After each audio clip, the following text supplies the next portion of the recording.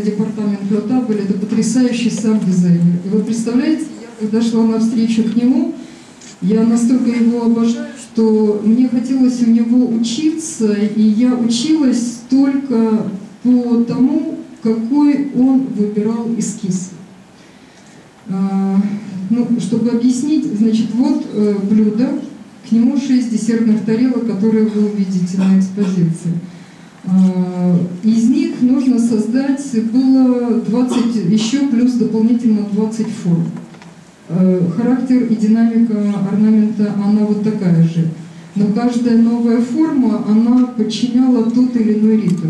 Я, безусловно, вам этого не покажу, потому что эта коллекция не вышла, я не имею права, но именно как характер работы, об этом интересно рассказать, потому что моя была внутренняя поставлена задача, что на каждую новую форму приносить это 10-15 предложений, потому что показать многообразие образа что это нескончаемая коллекция, которая может дополняться и дополняться. Мы сначала 7 предметов сделали, потом они увидели вот это многообразие и э, создали 8. И когда Ив отбирал вот один рисунок, и я увидела, что вот особенно если тут есть студенты, то я могу обратить ваше внимание на то, что руководитель вашего диплома – это человек, на котором лежит ответственность за вас, потому что именно вашу работу повести и собрать – это мозги преподавателя. И вот когда Ив Толерон из моих предложений должен был выбрать э, по одному из десяти и вместе составить это его уровень э, культуры, стиля, понимания, и мы должны, что называется, э, дышать э, вместе и чувствовать. И он настолько любит и уважает то, что я делаю, потому что я бессонными ночами на прополую работала, и даже был такой случай, что остановились часы у меня в студии, а я думала, что они идут. Я приехала два часа позже на встречу Эрмес, но они меня простили, перенесли. Мне там чуть-чуть осталось закончить, поэтому хорошо, что на один день перенесли. Вот. И а, после этого Евтелярон, он всегда даже расписывался на моих эскизах и писал Евгения Браво, а потом говорил, так, Евгения, теперь стакан водки и спать. Вот. Э, то есть вот мы э, живем и дышим одним процессом, мы должны создать красивую вещь. И э, э Ив, когда он что-то отбирал, вот для меня была учеба у самой себя. Вот то, что он отобрал по композиции, значит это лучшее среди моих работ. А то, как он составил это лучшее уже в единый ансамбль, это уже э, моя возможность учиться у мозгов этого человека. Понимаете, да, о чем я говорю? И вот, значит, мы сидим, делаем супницу, э, понятно, надо на каком-то модуле орнамент построить, и так как здесь не сильно э, большое многообразие именно орнаментальной составляющей, рисунок это одно, а орнамент, ну, треугольничек, там, кружочек – и вот в супнице я использовала вот эти кружочки, но чтобы видеть, как модуль к рисунку идет, а, я рисовала кружочки 3 мм, пропускала 3,5 мм, пропускала кусочек и 4 мм. И только своим физическим глазом никакой компьютер, он может сказать, какая, какой диаметр этого кружочка подойдет э, к этому общему рисунку. Ну и мы, значит, с Ивом погрузились в это переживание, глазами там смотрим, закрываем, э, как-то внутренне все это чувствуем. И сидит его помощница и говорит, Ив, а вот я не поняла, а здесь что, это дырочка будет, да, белая? И мы такие, знаете, как вот э, просто среди глубокого сна э, поднимаем на нее голову. Нам не надо объяснять профессионалам, которые рисуют, что это просто пробел, потому что ну не буду же я по-идиотски сидеть и 30 сантиметров рисовать эти кружочки. Понимаете, вот задача художника, дизайнера найти минимальные средства, но максимальную выразительность. Вот, кстати, Дом Эрмес, он меня к этому тоже очень сильно привел, потому что ну, у меня и мама чудесная, она всегда переживала со мной все внутренние мои поиски, от того, что я художник, это вообще благодаря маме. У меня мама инженер-конструктор космических кораблей. То есть с черчением у меня все было в порядке, вот, и мама всегда говорила, Женя, рисуй, рисуй. И вот мама в городе Харькове мне покупала цветные гелевые ручки, и вот она привела к тому, что я, например, эскизы э, рисовала таким образом, это одна черная, допустим, линия, а все остальное это 3-4 цвета, которые между собой ты гармонируешь и передаешь идею. Поэтому эскизную часть я научилась уже у дома Эрмес делать так, э, в которой ты минимальными средствами максимально делаешь выразительность. И поэтому вот э, такое как бы внутреннее переживание, когда ты даешь разные много-много предложений, ты внутри себя должен обязательно держать вот этот концепт в голове. Я, конечно, шляпу перед вами снимаю, потому что создать интерьер очень ответственно, и настолько ты внутри себя загружаться и понимать стилистику, цвет, э, ритм, и, и уметь это все настолько прочувствовать, и мне кажется, идти вот до самого конца, если вы внутренне чувствуете это переживание, вы должны всегда отстаивать то, что вы делаете. У меня и были даже такие вот как бы переживания с Эрмес, когда я пыталась отстаивать свое, но мы, можно сказать, у друг друга учились, и э, я очень благодарна этой возможности самого высокого профессионализма, это именно вот в доме Эрмес, научиться так, что Э, каждый миллиметр он несет на себе очень большую ответственность. Ну и, наверное, как вот доказательство такой ответственности, когда была выставка французского э, фарфора, то именно каждый бренд имел право выставить только две работы от своего бренда, и Дом Эрмес выставил большой столовый сервис, и мою коллекцию «Русский балет» они назвали это «Русский стол», это, ну, знаете, как вот негласное было доказательство того, что они сами Поэтому, наверное, никогда не надо бояться того, что вы за что-то новое беретесь. Для меня вот эта посуда была, э, ну, как одной из первых таких работ над дизайном фарфора. Э, круглая форма, она несет в себе свои закономерности. Вот, допустим, для примера платки Эрмес это 25 колеров, не больше. Э, браслеты, э, браслеты это 9 цветов, посуда это 12 цветов. И ты должен уметь во всем этом ориентироваться. Вот, допустим, Эон Лангви, я тоже очень-очень люблю этот бренд, и он для декоративных э, предметов очень интересен, потому что у них потрясающие. То есть вы можете до 20 оттенков видеть каждого цвета. Вот когда я ездила на производство, они в Мэтс находятся, это север Франции, вот, то изучив пигменты, я видела, вот здесь это максимально приближено к тому, что я сдавала дизайн гуашью. И, кстати, вот с этим брендом, имейте в виду, очень интересно работать, вы можете создать один предмет. То есть э, с домом Эрмес вы одну вазу не создадите, а Э, модуль Ангви, они выполнят одну работу. Это лимитированные коллекции, они сделаны, каждая работа, она сделана вручную. На обратной стороне ставится обязательно номер повтора, то есть, в принципе, лимитированная коллекция это не больше 50 повторов. Вот. Получается, что э, когда я начала работать с фарфором э, именно лимош, э, то именно пигменты, которые уже в фарфоре, не в керамике, не в фаянсе, это другое новое переживание, и там была поставлена задача в четыре цвета выразить максимально многообразие. А у нас здесь есть же с посуда, петрушка? Да? Ну, эту коллекцию сможете увидеть воочию. Но опять-таки могу по секрету они не вытянули один цвет. Она сделана в цвете э, морской волны, должна была. И э, доминирующий там должен быть ультрамарин синий. При едином обжиге они не смогли это вытянуть, и поэтому они вышли на этот оранжевый вариант, как их уже интерпретация с моей работы.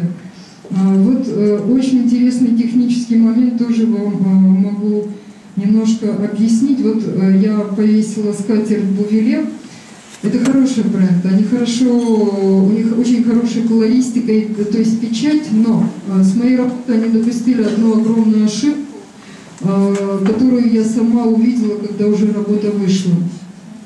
А, у меня было составлено в золотом колорите на четырех цветах. Потому что чем меньше цвета, мы знаем, тем сложнее сгармонировать э, дизайн и пространство. И у меня не очень сложный рисунок.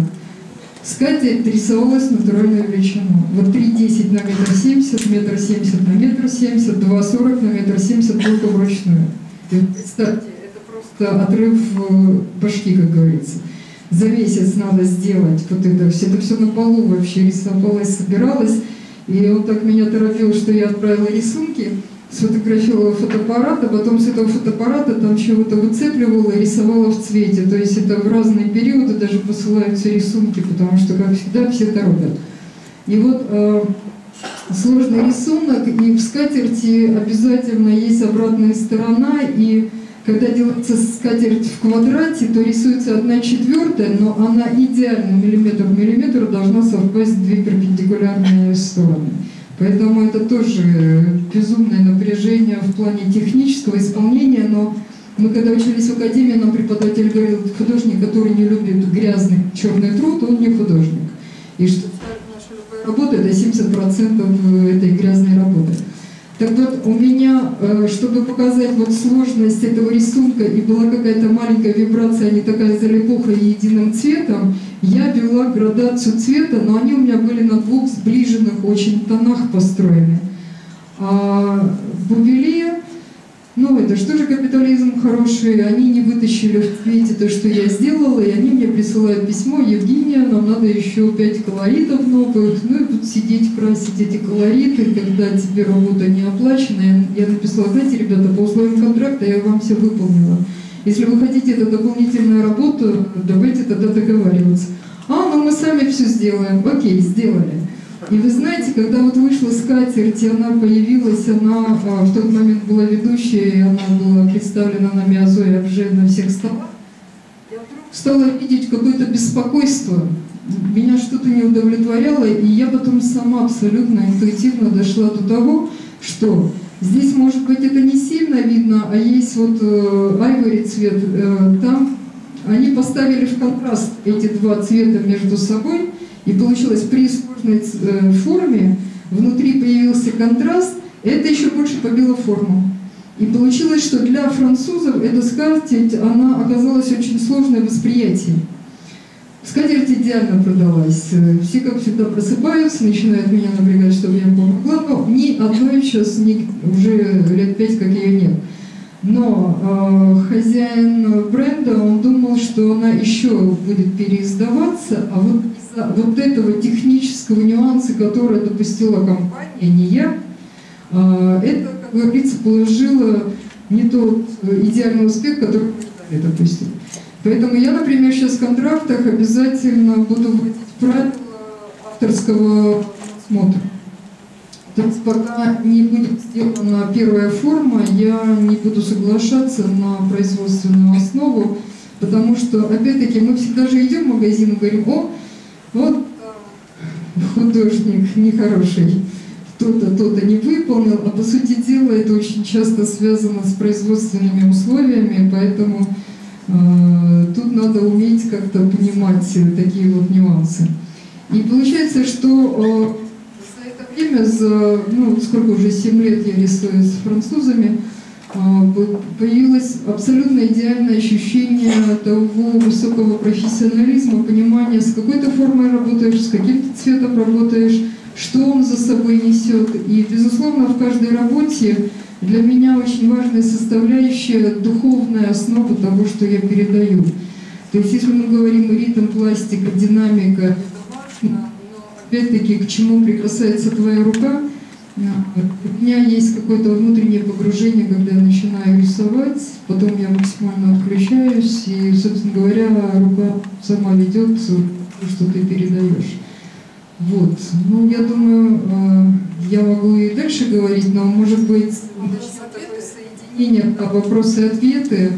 Вот, потому что здесь для вас приготовлен прекрасный фуршет. А, и под конец, да, у нас есть чудесная лошадка, с которой мы начинали а, в Италии. Я сейчас это можно сказать, специально даже постарались э, сделать э, для нашего мастер-класса я сейчас вышла на итальянское производство Ратти, и это первая сделанная работа с ними, потому что я хочу делать авторские... А, а, а, Это к этому году синей лошадки я сделала свою лошадку. Вот, э, это платок сделан в Италии, напечатанный, и вот такая лошадушка этого года. А, у меня внутреннее наполнение сделано в трех колоритах, разработано для того, в принципе, да, вот. Да, она такая добрая, мне кажется, что она хорошая получилась. И э, сейчас я очень рада, что я познакомилась с этим производством, и их работой я довольна. Вот здесь ручная обшивка. Что буду... У меня следующая серия выйдет с непальской мануфактуры, это уже будут кашемиры, это будет продление этой темы э, больших 2 метра, метр девяносто три на 80 фут натуральную величину рисовалась, и э, лошадь это символ жизни. Вот, поэтому в этом году жизненных перемен, далеко уходить не надо, Украина, да, вот, поэтому, э, в принципе, символ лошадки для меня также очень трогательный, и я люблю с этим образом работать и рисовать. Вот. Я буду рада э, ваши вопросы какие-то услышать. Спрашивать все, что хотите. Пожалуйста, у кого есть вопросы?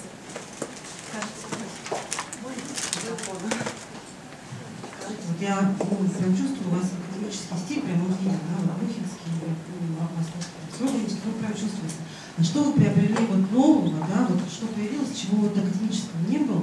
А вы это называете академическим Ну, мне кажется, что ну, вот русская школа прям чувствуется очень хорошо. Да. Ну да, нет, ну вот именно композиция, подача, ну, даже сам, ну, манера исполнения. Ну, ну, все-таки, мне кажется, она, ну, как бы есть. А что вот вы чувствуете нового, да, там, ну, французского, например, что там много, ну, 7 лет работали с Францией, да, например, в частности. Что французского, именно такого, что, чего не было вот до этого? В принципе, вот когда я начала жить во Франции, э, собственно говоря, э, вы поймите социальная подоплека вообще нашей жизни, да? Мы зависимы от их надо зарабатывать. И мы знаем, как искусством зарабатывать деньги, это мама и родная. А, для того, что я там живу, это не значит, что мной кто-то занимается. Я все делаю самостоятельно. И а, от того, что была востребована русская тема, а, меня пять лет держали на этой теме, я даже и слезы роняла, и думала, боже мой, я же другое рисовать умею. Но, вы знаете, это меня, и я очень благодарна тому, что меня перед этой теме, потому что я по-настоящему задумалась о том, что в мировом дизайне нет русского стиля. То есть э, вообще мир э, знает русскую культуру, ну там Малевич они его зовут, э, доктор Живаго, и Поэтому мое сейчас желание именно очень серьезно раскрыть этот образ, символику и духовность. Во Франции, отвечая на ваш вопрос, я начала заниматься цветными бумагами, потому что там очень красивые бумаги, и я стала делать, заниматься коллажами, стеклом. То есть вот когда я была на потрясающем аукционе Ив Сен-Лоран, спустя год после его смерти, Пьер Борже, сделал потрясающий аукцион. Кстати, вот мы с Татьяной Николаевной тоже по аукционам любим ходить. Вот, ну, например, э, это тоже определенная э, возможность наблюдать за искусством, потому что на аукционах ты видишь стилистически разные направления. Так вот, когда я увидела студию Ив Сен-Лоран, это огромные белые столы, я сидела, моя мечта, вот чтобы у меня была такая студия, три стола, там три метра на, на, на и была возможность, а, да, сейчас, и была возможность э, работать э, сразу на трех столах параллельно, я бы спокойно это дело повела, потому что э, идей очень много. Вот сейчас, поехав в Харьков, я специально поехала на фестиваль «Водопарад». Э, это связано с сантехникой, да, вот как бы такое, оп, новое направление. Я с Эрдонелли сделала коллекцию для сантехники, э, вот, но именно создавать форму образования, и я попробовала, я сделала лестницу, которую вы видели. И я, в принципе, мне многие журналисты подчеркнули, что в мировом дизайне нет лампы лестницы. Я хочу это с итальянцами довести до определенного э, исполнения уже именно в производстве. А, завтра, допустим, я буду делать украшения, и в каком это стиле пойдет. Это, понимаете, надо, с одной стороны, отвечать социальной действительности, с другой стороны, конечно, душа горит делать что-то свое, но насколько это уметь соединять, а еще при этом надо вести французские документы, все эти выплаты вести, ЭДФ, ЖДФ, где и так далее, это тоже очень непросто. У меня, например, видно жительство во Франции по артистической линии, которые мне помогли сделали французы, не русские. Поэтому э, даже сначала мозги закипали пойти оформить документы без французского языка, это полный улет. Но вот как-то друзья помогали, и э, во Франции очень жесткая жизнь. То есть там, без документов это ну, э, вообще лучше не находиться, и поэтому э, этот этап. Поэтому на данный момент вот я для себя искренне желаю только возможность э, уже заниматься тем стилем и тем дизайном, который мне лично хочется. Вот я получила новую студию. У меня окно 2,70 на 2,20 от пола. Мне нужен стол рабочий, 2,70 по длине. Такого стола я в жизни никогда нигде не куплю. Ну, я села и нарисовала себе стол. И я, допустим, вот уже хочу мебелью заниматься. У меня в студии левая стена 4 метра, а справа 2,40. А, мне нужно библиотеку сделать. Я пошла, посмотрела на книжные стеллажи. Да, то, что мне нравится или то, что мне приятно, это 25 тысяч евро э, такой шкафчик. Хорошо. Я походила, поизучала, как там винтики, шурупчики, все это сворачивается. Я, в принципе, села и нарисовала свою мебельную стенку. И в ней будет обязательно ниша, где будет под стеклом представлена фарфоровая коллекция Hermes на оранжевом фоне, таком персиковом. Я для себя это уже продумала. И понимаете, вот новое направление, которое ты выбираешь, э, это не важно, что ты будешь делать. Важно, с какой ты душой делаешь и что за этим стоит. Вот, например, с этим платком за бабушкой у меня есть очень интересная история. Здесь нарисован мальчик-девочка. И опять-таки моя чудесная мама дала эту идею. Папа француз, мама русская, живущая здесь, в Москве. Я написала, э, то есть э, я поговорила с мамой, мама прислала фотографии, мы нарисовали Димочку. Когда вышел платок, родители написали в дом Эрмес письмо и сказали, вот Евгения, наша подруга. И в конечном итоге э, Эрмес сделали за Буру Дмитрий. Сейчас мы вам покажем.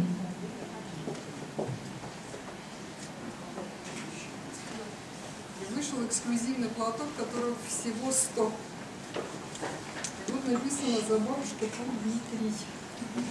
Я думаю, что Дима попал в историю русско-французского дома, и этот платок э, за горами будет супермузейный или коллекционный. Да? И когда меня Эрмес позвали э, написать вот этот Дмитрий, э, я сказала, хорошо, это мои друзья, мой платок, я сделаю. И мне сделали потрясающее замечание, и я вам искренне передаю это замечание, потому что в этом мозги э, той культуры э, бренда. Мне сказали, Евгения, это ваш дизайн, но это платок Армес. И, в принципе, это потрясающе правильное замечание, потому что деньги э, в платок вкладывается брендом, а я создаю дизайн. Э, надо отдать должное, что Демармес, они э, уважение показывают таким образом, что на платке стоит имя художника. Когда мы создаем дизайн, мы создаем три составляющие. Это название платка, и это первый вообще платок, который вышел на русском языке. А потом составляющие названия бренда – и как дети играют э, в игрушки, в кубики, составляя буквы, я написала «Дом Эрмес». Вот, и место, где ты ставишь, как говорят, дискрет, не видно свою подпись.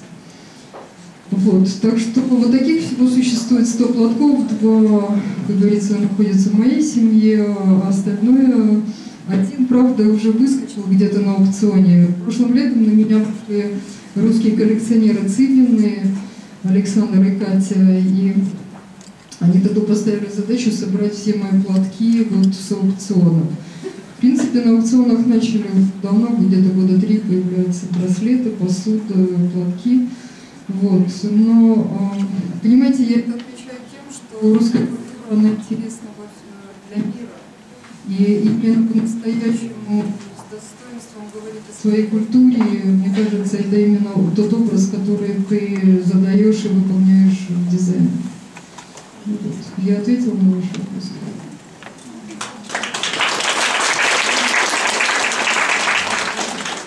Добрый день, компания Томас Анна.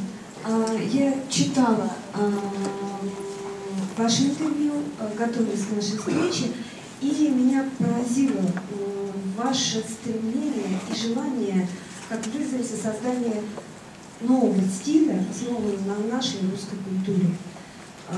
Просветили вы мой вопрос, начиная, уже упомянули об этом. Меня больше, знаете, что заинтересовало? Сейчас, наверное, многие со мной согласятся, нам каждый раз пеняют, говорят о том, что мы много разговариваем, мы много эмоциональны, мы любим яркие вещи, нужно быть европейцами, нужно быть сдержанными, нужно меньше красок, да? Вот очень много, у нас много клиентов, которые приходят и говорят, о, это, это уже ну, старая история. А, невольно вас, за, ну, как бы вы вынуждены были долго держаться этой темы. А, как вам хватает сил отстаивать сил, а, смелости, желания, вообще ваши, откуда берутся эмоции для того, чтобы так пропагандировать нашу культуру. И еще немножко следующий пункт. Говоря о стиле, я много размышляла, а на чем же будет основано, что будет основой этого стиля нового для нас? Спасибо. Ну, наверное, вот меня спрашивают, откуда у вас вдохновение, и я говорю, что вдохновение это для ленивых людей. Э, значит, надо где-то посидеть, что-то подумать, вдохновиться. Мне кажется, у нормального художника всегда времени не хватает сделать то, что он хочет. Поэтому, э, вы знаете, я даже слово бы отстаивать э, сейчас не называла, потому что вот то слово «сказочность» русской культуры, которое я для себя определила, оно говорит о великом многообразии всех возможностей, поэтому а, на данный момент я сейчас собираю разную литературу, изучаю разные материалы, и, а, безусловно, это все будет построено на орнаментике, стилистике э, разных модулей, потому что Россия, если мы посмотрим белокаменную Россию, те рельефы, ведь, кстати, вот для русского стиля очень интересно звериный стиль, он э, в северной культуре, э, в северных народах использовался. Например, вот мужчины знают о том, что на Руси мужчины носили с изображением льва. Лев – это символ силы, и э, изображение льва всегда было во всей храмовой культуре даже. Поэтому я думаю, что в своей этой коллекции, это в принципе будет как фэшн-линия, направления разных ну, я не буду говорить, что это точно будет, вот, э, это будут просто разные материалы, формы, вот. Но работа такая серьезная и большая, поэтому, наверное, русский стиль, э, он интересен во всем многообразии. Это и конструктивизм. Если вот посмотреть в целом развитие мировой культуры, то получается, э, мне кажется, что жизнь художника никогда нельзя рассматривать вне времени, потому что наш конструктивизм, который появился, ведь представьте, это только в нашей стране. И, по сути дела, именно в этот период э, огромное количество женщин-художниц, которые передали этот период. Русские... А, Благодаря эмоциональному переживанию, поэтому... Свое эмоциональное переживание никуда прятать-то не надо. Вот славяне, они очень открыты, они очень страстные, они э, любящие, они эмоционально переживающие, это не англичане, там, да, нет, у каждого свои прекрасные качества, но а, именно славянская культура, она интересна многообразием, а потом, если мы даже посмотрим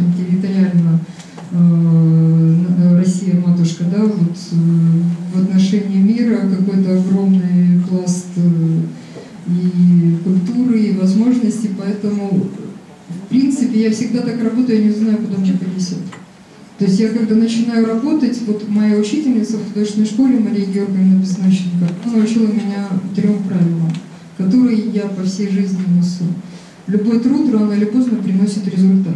То есть, когда я у нее готовилась к поступлению в академию в Петербурге, а, она научила меня с одного натюрморта писать, писать 50 разных вариантов.